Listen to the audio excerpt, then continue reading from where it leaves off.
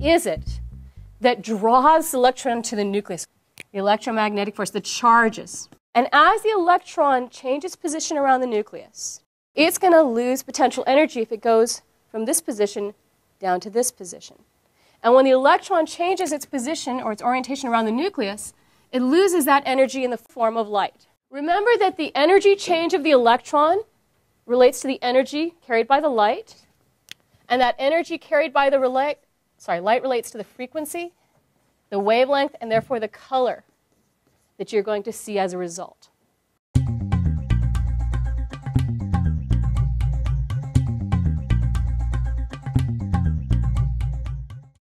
To detect the, the wavelengths coming off of each element, I'm going to hand out these spectroscopes. Now, you guys saw earlier today looking through those diffraction gratings. Your original light source was in the middle, and off to either side you saw what? The spectra, the rainbows, right? Going off to either side.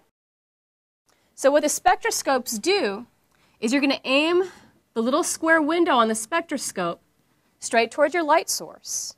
And when you do that on the inside of the spectroscope,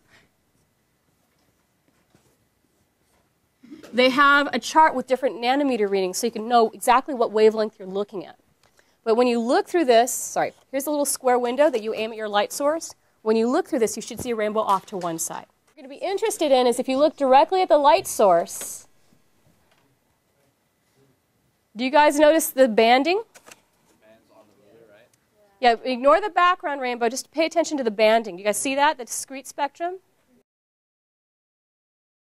When you're going through each spectrum, I would advise writing down three, or if you see really four good clear lines, write down the wavelengths of them. You do not have to write down the wavelengths of every single line. I have to tell you, like neon has a zillion of them. Don't go insane trying to write them all down. Just pick a few that you see are particularly bright.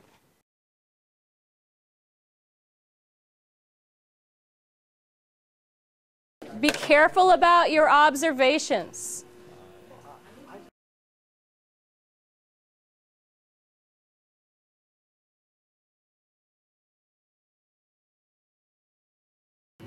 378.